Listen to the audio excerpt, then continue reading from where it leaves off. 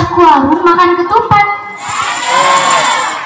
Sebelum pantun kami dendangkan,